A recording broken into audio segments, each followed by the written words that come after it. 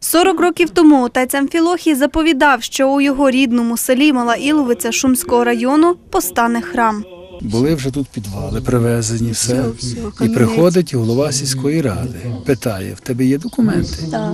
Ні, каже, мене нема. Тоді владою надаю мені, я тобі забороняю тут будівництво. А він йому каже: тебе не буде, мене не буде, а храм тут буде. А храм тут буде.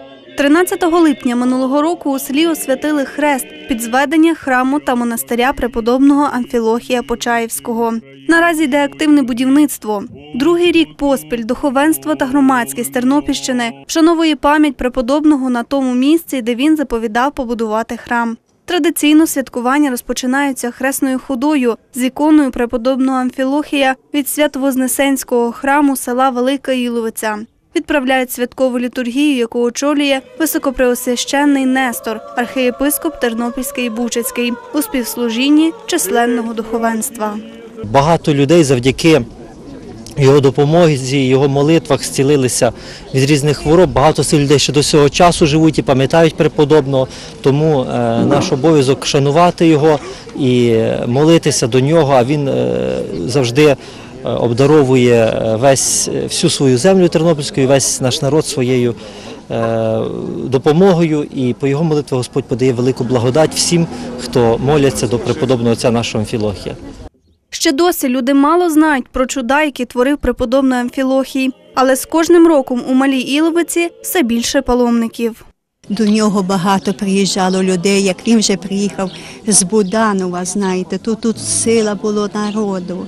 Тільки приїжджали Господь знати з усієї з усенької Росії. І ще мій син був на Камчатці, то він там розказував, що в нас такий є е, батюшка, то ще з Камчатки приїжджали. Всі, хто приходив до Амфілохія, святий щедро обдаровував і годував. Ніхто голодний від преподобного не йшов.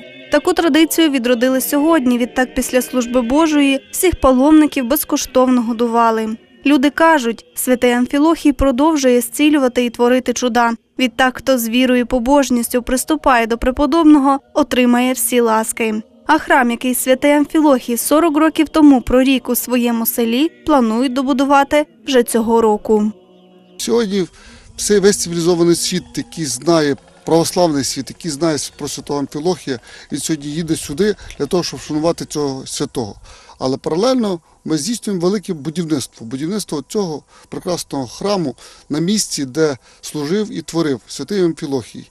І дасть Бог і віра в те, що тут буде колись великий прекрасний монастир, який буде прославляти і віру православну християнську, і буде монастир, який буде славити всю Україну і українську землю.